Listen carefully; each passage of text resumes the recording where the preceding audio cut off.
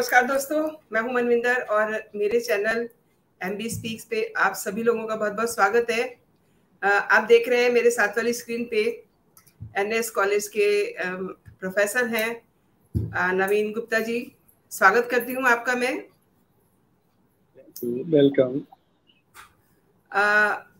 दर्शकों आज सोमवार है 16 मई। सोमवार यानी कि भोले बाबा का दिन है आज और आज ही के दिन ज्ञानवापी मस्जिद से बाबा मिल गए हैं। इससे आगे भी बहुत सारी चीज़ें आप लोगों के दिमाग में आ रही होंगी। बहुत कुछ आप सोच रहे होंगे कि और वहाँ क्या क्या मिलेगा। तो इन सब मुद्दों पे हम बात करने जा रहे हैं एनएस कॉलेज के प्रोफेसर डॉक्टर नवीन गुप्ता जी से। तो डॉक्टर साहब जैसे कि आपने आज पूरे दिन का घटनाक्रम देखा सुना आ, क्या है ये सब? सभी दर्शकों का हार्दिक स्वागत इस शो में जो मौजूद हैं, शो को देख रहे हैं। आप सभी लोग, जो घटनाक्रम है वर्तमान में, उससे परिचित हैं। चाहे वो अयोध्या हो, चाहे काशी हो या मथुरा हो, ये ऐसे महत्वपूर्ण बिंदु हैं, जिन्हें लेकर के हिंदू समाज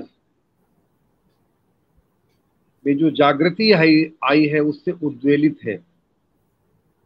उद्वेलित होने का कारण ये है कि उनकी सांस्कृतिक आस्था और धार्मिक आस्था पर जो कुठाराघात हुआ, अतीत में वो जख्म अयोध्या का विवाद विस्तारित होने के बाद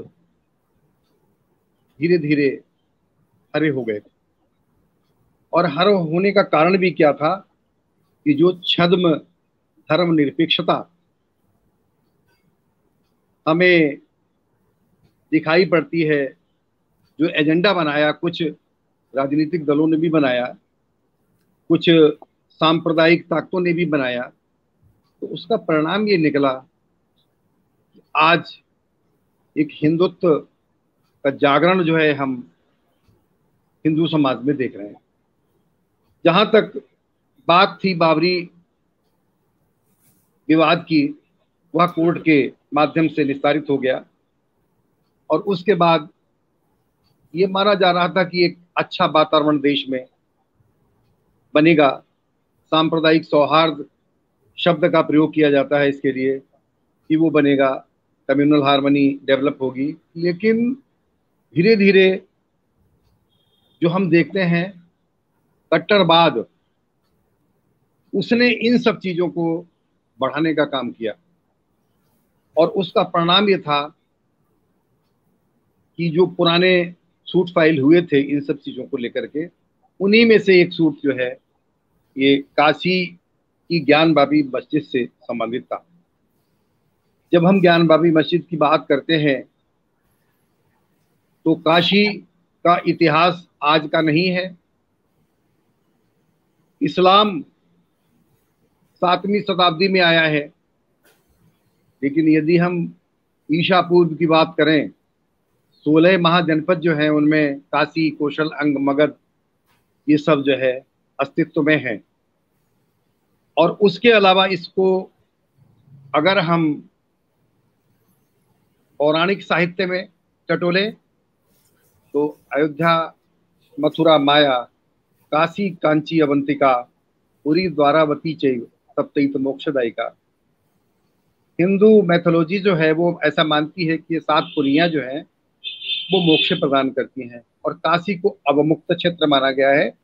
अवमुक्त क्षेत्र के मतलब यही है कि अगर वहाँ पर किसी की मृत्यु होती है तो निश्चित रूप से वो मोक्ष को प्राप्त करता है। बात आती है शिव की। शिव की संकल्पना एक देवता के रूप में अनादि काल से है ये बताते हैं आपको। बाद में ब्रह्मा विष्णु महेश का कॉन्सेप्ट तो बहुत बाद में आया है। सबसे पहली जो सभ्यता है यदि हम सैंधव सभ्यता की बात करें इंडस वैली सिविलाइजेशन जो सबसे पहली सभ्यता मानी जाती है उसमें भी जो है क्या है कि अनेक शिवलिंग हमें मिले हैं। सबसे पहले हमें मिलते हैं सैंदव सभ्यता में। आप समझिए कि पाँच हज़ार वर्ष से पहले का पुरातात्विक साक्ष्य मिलने लगता है। पुरातात्विक साक्ष्य की बात शब्द मैंने इसलिए प्रयोग किया है कि जहाँ पर कोई समस्या खड़ी होती है समय निर्धारण की जी। या काल निर्धारण की हम्म तो कार्बन डेटिंग के माध्यम से हम्म। पुरातत्व जो इतिहास का ही महत्वपूर्ण विज्ञान है वो इसका जो है समाधान करता है। और भारतीय पुरातत्व सर्वेक्षण विभाग एएसआई बोलते हैं जिसको जी। उसका सारा का सारा काम ही जो है इसी विज्ञान पर आधारित है पुरातत्व विज्ञान पर।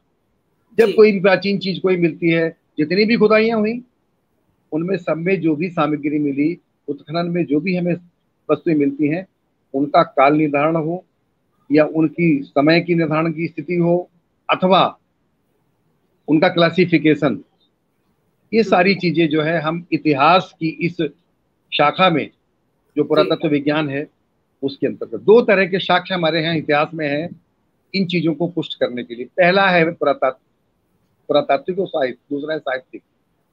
साहित्य में भी अगर हम जाएँ तो काशी में शिव की प्राचीनता जो है निर्विवाद रूप से स्वीकार की गई है।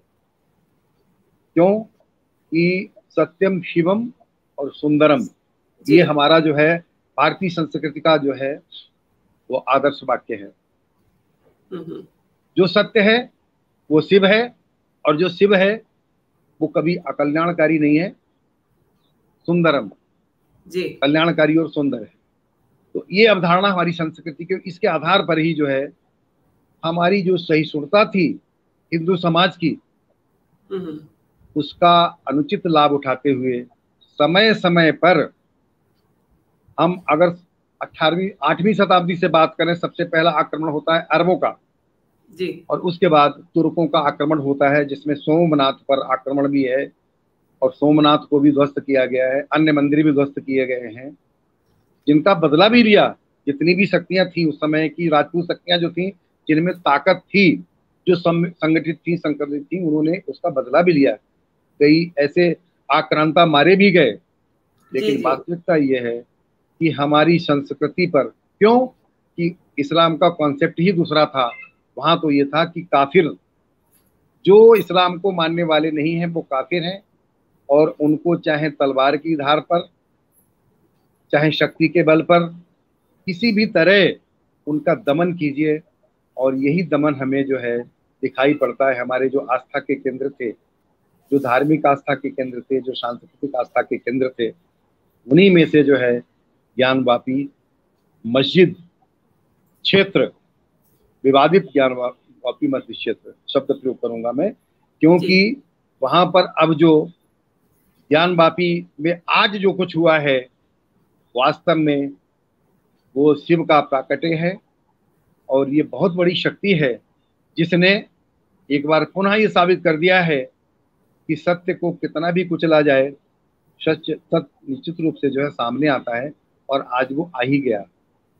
जिस बुजू खाने की बात कर रही की जा रही है जहाँ पर जो है बुजू किया जाता था आप समझिए उसके अंदर जो है भगवान शिव का रिंग जी मिला है। ये वहाँ से प्राप्त हुआ है। और इस प्राप्त होने के पीछे जो है वास्तव में जो मूलवाद दायर हुआ है सिविल जज सीनियर डिवीज़न वाराणसी की अदालत में जी। तो ये मूलवाद संख्या है छह सौ तिरानवे ऑब्लिक दो हज़ार इक्कीस। श्रीमती राखी सिंह आदि बनाम उत्तर प्रदेश सरकार। जी। ये बात चल रहा था इसी के अंतर्गत सारे कमीशन बनाए गए सारी चीज़ें बनाई गई और ये पहला मौका नहीं था।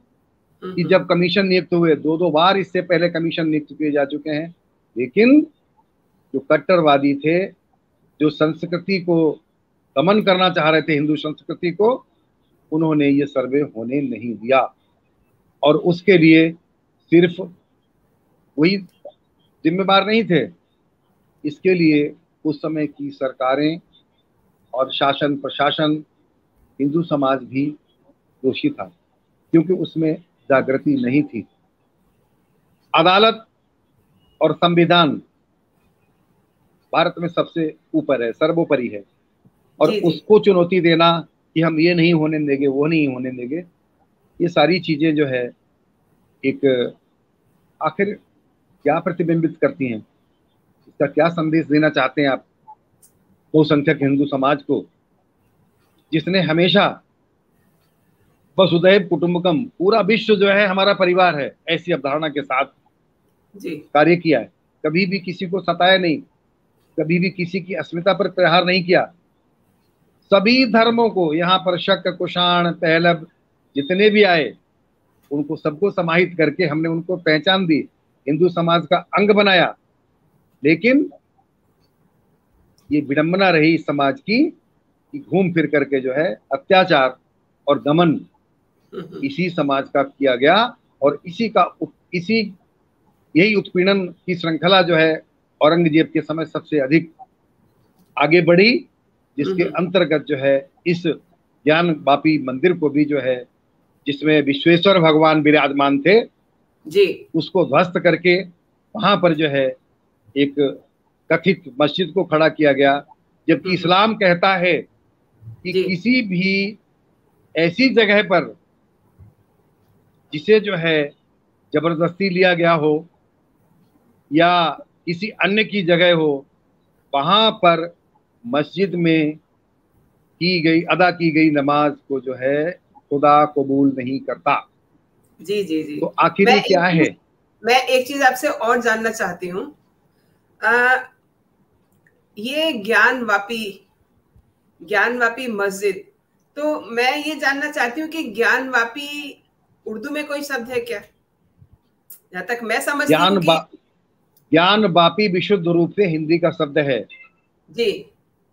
ज्ञान जानकारी जी।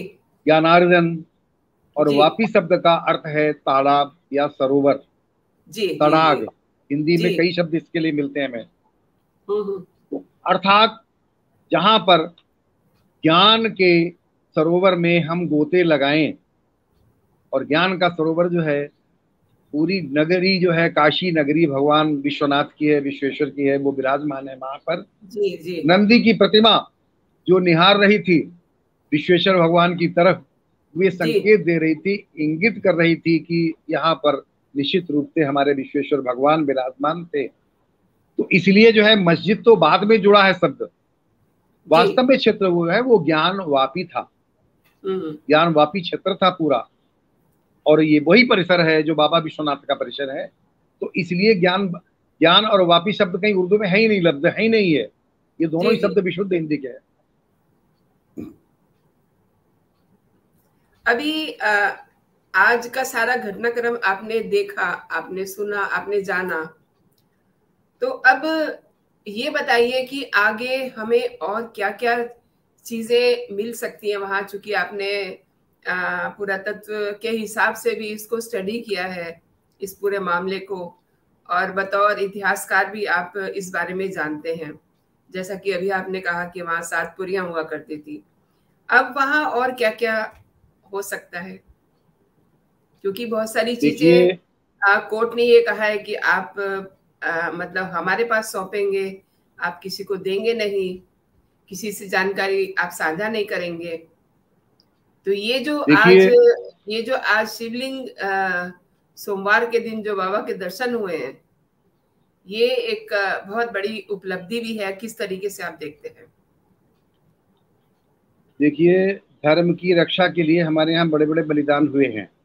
जी। और उन्हीं बलिदानों की श्रृंखला में जब हम इस ज्ञान वापी की बात करते हैं तो इसमें भी जो आज जो शिवलिंग मिला है जी। उसे उसे लेकर कूदने वाला भी एक पुजारी ही था। इस समय औरंगज़ेब की सेनाएँ हाथ में तलवार लिए खड़ी हुई थी और चारों हम्म। तरफ़ जो है खून सवार था उसके सैनिकों हम्म। पर। हम्म, एक भय का मंजर था। उस समय एक पुजारी जो है वो इसको लेकर जो है ज्ञान वापी सरोवर में कूद जाता है। जी जी। और आपके पास ये आपके पास कोई जानकारी है कि उन पुजारी जी का क्या नाम होगा? अभी वही मैं कहने वही मैं कहने जा रहा था। अभी उस पुजारी की भी चर्चा उस पुजारी के बारे में भी छानबीन शुरू हो गई अब। क्योंकि जब कड़ियाँ जुड़ती हैं तो फिर सारी चीज़ें छनकर आती हैं। जैसे जो 1777 से और 80 का दौर है उसमें जो है जीर्णोद्धार का स्पष्ट प्रमाण है कि अहिल्याबाई होलकर महारानी अहिल्याबाई होलकर ने इसका जीर्णोद्धार कराया है। तो ये सारी चीज़ें जो है ये तो आ रही हैं निकल निकल के।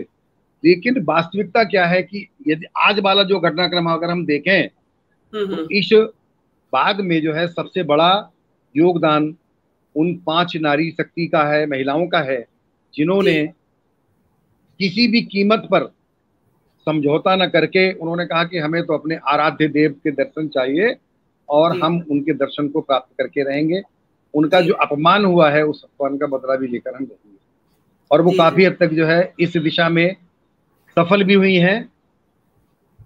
आज जो सीलिंग की कार्रवाई हुई है उसके पीछे जो है इस मुकदमा में जो है अठहत्तर गा के अंतर्गत जो सिविल प्रोसीजर है उसमें अठहत्तर गा के अंतर्गत सबसे बड़ा योगदान जो है वो हरिशंकर जैन जी का है जो हम्म, हम्म। अधिवक्ता है इस मामले में।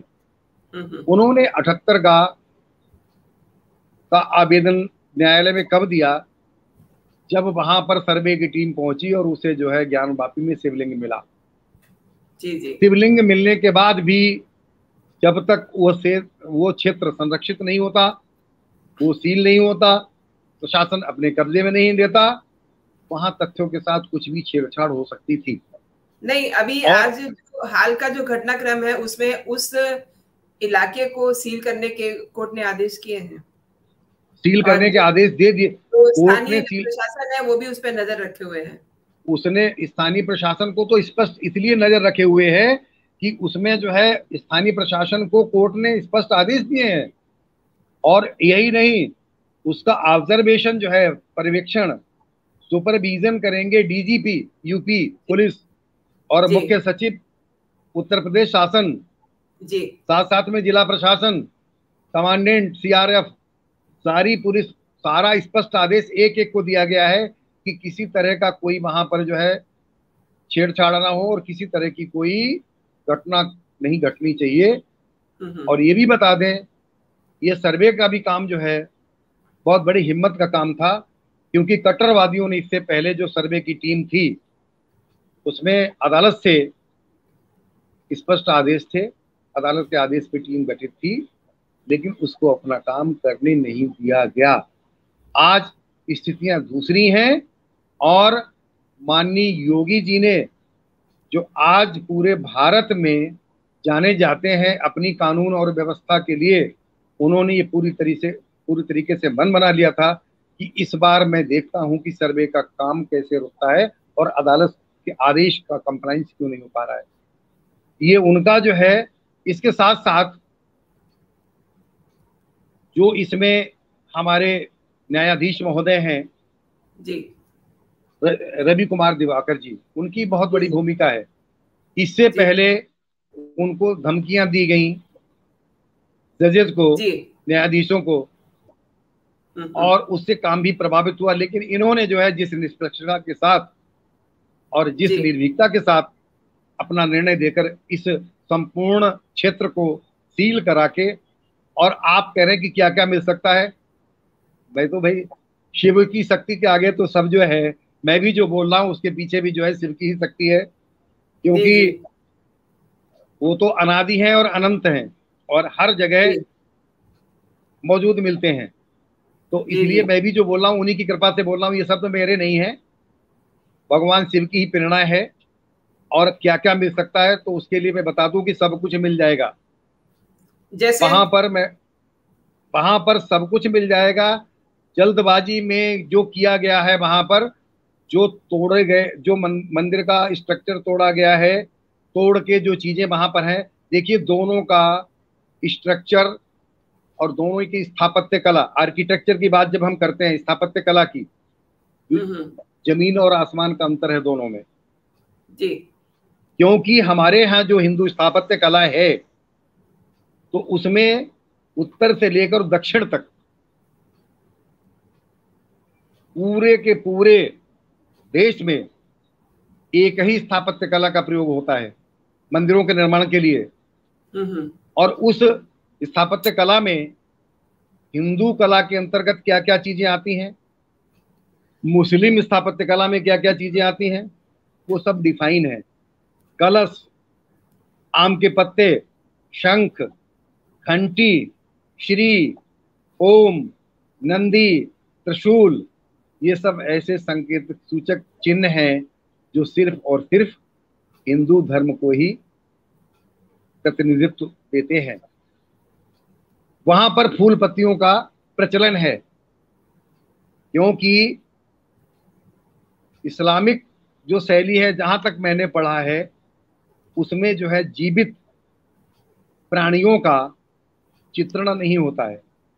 जबकि हमारे यहाँ जबकि हमारे यहाँ देखें हम कि जो वैष्णव मंदिर हैं तो उसमें क्या देखते हैं कि गंगा और यमुना कलश के साथ जो है मुख्य द्वार पर विराजमान है। और उसका गोपुरम गोपुरम बोलते हैं। जो पूरा जो चबूतरा है जिसको वो गोपुरम बोला जाता है। और उस पर ही जो है एक जो सेट हमारी स्टाइल है आर्किटेक्चर की मंदिर की उसके अनुरूप ही मंदिरों का निर्माण होता है। इस मंदिर का निर्माण भी निश्चित रूप से उसी शैली में उसी स्थापत्य कला में किया गया है। इसमें कोई किसी तरह का संदेह नहीं है। और आगे चल के आज ड्रोन से भी फोटोग्राफी हुई है सारी वीडियोग्राफी हुई है और इसके अलावा कार्बन डेटिंग आ जाएगी। एएसआई का काम यही है वो सब निकाल लेगा। कि स्ट्रक्चर कौन सा नीचे का कब बना ऊपर का कब बना कहाँ से कितना अलग है ये सारी चीज़ें जो है पुरातत्व विज्ञान इसके लिए जो है बनाया गया है। और मैं आशा करता हूँ कि निश्चित रूप से पुरातत्व विज्ञान की कसौटी पर वो सारी चीज़ें खरी उतरेंगी, जो इसको एक हिंदू मंदिर, शिव मंदिर के रूप में प्रमाणित और स्थापित करने में सहायक साबित होंगी। अभी इस इस स्पॉट पे हिंदू पक्ष और मुस्लिम पक्ष दोनों ही अपना दावा ठोक रहे हैं। और हमारा देश जो है एक धर्म निरपेक्ष देश है। तो आप क्या समझते हैं कि ये एक ये तो क्लियर ही है कि एक धार्मिक मसला है। तो इसे आ, क्या मतलब कोर्ट पे छोड़ देना चाहिए? जाके मतलब जो चीज़ें सामने दिखाई दे रही हैं उस पे ही आ, सब चीज़ों पे डिस्कशन होना चाहिए। यहाँ पर मैं आपसे कहना चाहूँगा कि भारतीय समाज ने विशेषकर हिंदू समाज ने हमेशा जो है सहिष्णुता का परिचय दिया है। जी। जहाँ पर धर्म निरपेक्षता की बात आती है इससे पहले भी कानून बने हैं। जी। सीए पे बना हुआ है कानून तीन तलाक पे बना हुआ है। जी जी। अन्य भी कानून बने हुए हैं। उनका कंप्लाइंस हुआ? नहीं हुआ। क्यों नहीं हुआ? क्योंकि यही कट्टरवाद बार बार आड़े आ रहा है। दूसरी चीज़ जो है आपने कहा कि हम धर्म धर्मनिरपेक्ष है। धर्मनिरपेक्ष और ये दावा की बात की आपने। अगर मुझे कोई थोड़ी देर के लिए जालीदार टोपी पहना दे हम्म। किसी में इफ्तार पार्टी में या कहीं जाऊँ और थोड़ी देर के लिए जैसे हमारे राजनेताओं ने मैं नाम नहीं लूँगा किसी का खूब अभी इफ्तार में खूब पहनी टोपियाँ। तो क्या वो हम्म। मुस्लिम हो गए? नहीं हुए ना? अगर किसी मुस्लिम को किसी हिंदू आयोजन में हम थोड़े से समय के लिए जनेऊ डाल के ये दिखाने का प्रयास करें कि ये हिंदू है हम्म। तो क्या वो हिंदू हो जाएगा? नहीं होगा। तो दावा अलग चीज़ है। दावे के लिए तो हमारे यहाँ कानून में इतनी लचर व्यवस्था है कि यदि मैं आपके घर में आपकी सहमति से आज थोड़ा सा शेल्टर पाने के लिए सामान रख लूँ हम्म, हम्म। और उसके बाद बगैर अपनी मर्ज़ी के मैं निकल नहीं सकता। जब मेरी मर्ज़ी होगी तब मैं, तो। मैं इतिहास की बात पे आती हूँ। कुछ ये भी सुना जा रहा है कुछ लोगों ने ये कहा कि वहाँ रजिया की मस्जिद हुआ करती थी। ऐसा कुछ नहीं है। और जिन मस्जिदों को नाम दिया गया है वो नाम तो अब दिए गए हैं। ज्ञान वापी की मैं चर्चा कर रहा हूँ जिस क्षेत्र में है ये। ये क्रम आज से थोड़ी चला है। मैंने आपको बताया आठवीं शताब्दी की चर्चा मैंने शुरू की और तब से ये स्पष्ट इनके जो ग्रंथ हैं ऐतिहासिक ग्रंथ हैं वो कहती हैं कि हमारा तो इनका तो उद्देश्य ही धर्म का प्रचार करना और हिंदू संपत्ति को लूटना और मूर्तियों को तोड़ना। बुद्ध वो शब्द आता है इसमें उर्दू का है। तो मैं मूर्ति भंजक हिंदी में प्रयोग कर रहा हूँ उसको जी। कि जितनी भी जो है मूर्तियाँ हैं उनको उनको तोड़ो विध्वंस करो उनका। तो जहाँ पर ये कल्चर रही हो तो आप उनसे क्या ये उम्मीद करेंगी कि वो आसानी से और आपके कहने से जहाँ पर तलवार में खून हर समय लगा रहा क्या उनसे आप अपेक्षा करते हो कि वो इतनी आसानी से छोड़ने के लिए तैयार हो जाएँगे?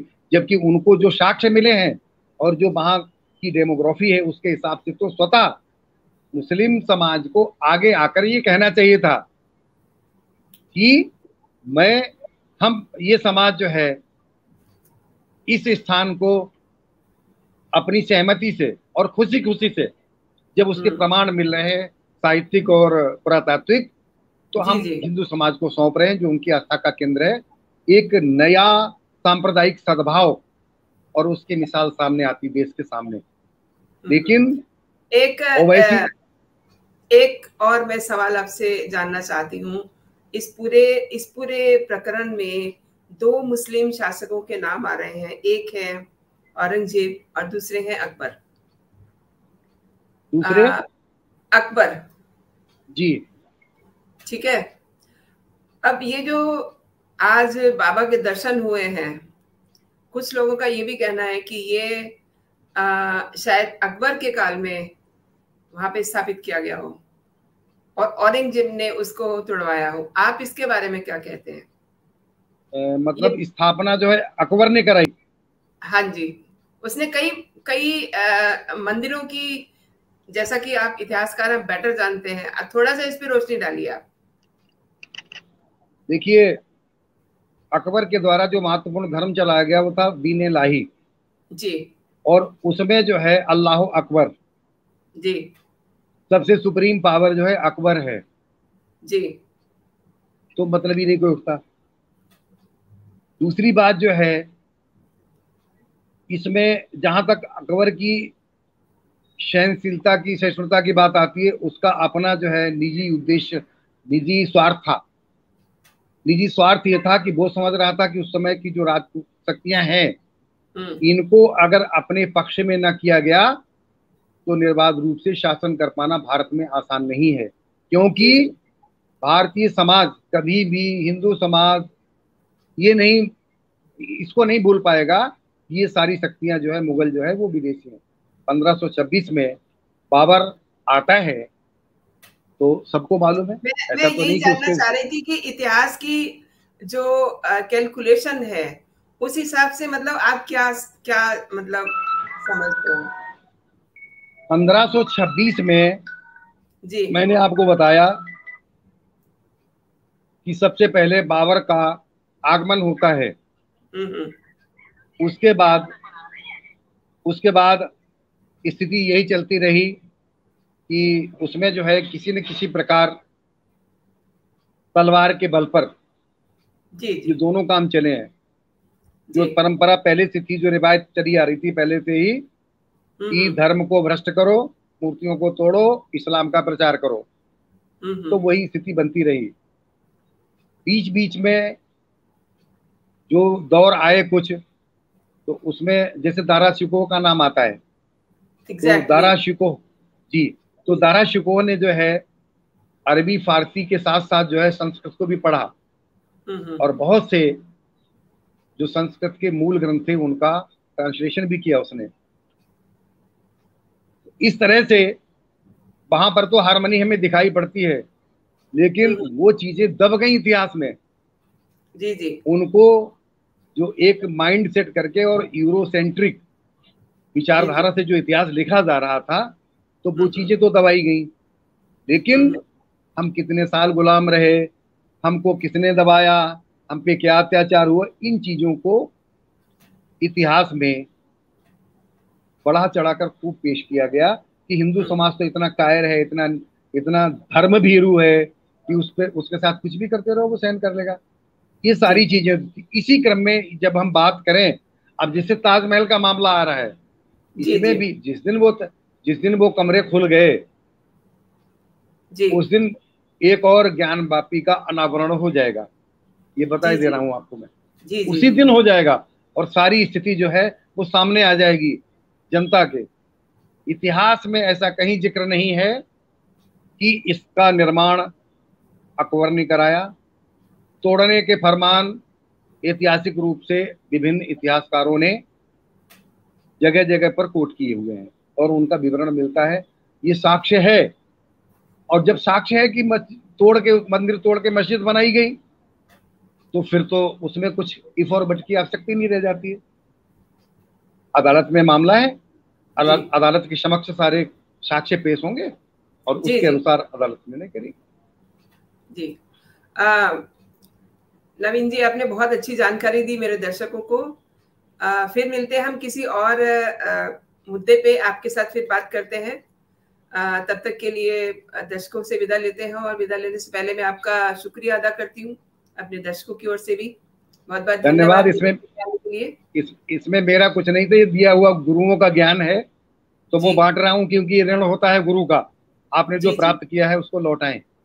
तो इसलिए जो भी जानकारी में था वो आपके साथ शेयर किया और आपने मुझे जो है अपने प्लेटफॉर्म पे जगह जगह दी। इसके लिए मैं आपका एक बार पुनः हृदय से आभार व्यक्त करता हूँ। थैंक यू धन्यवाद।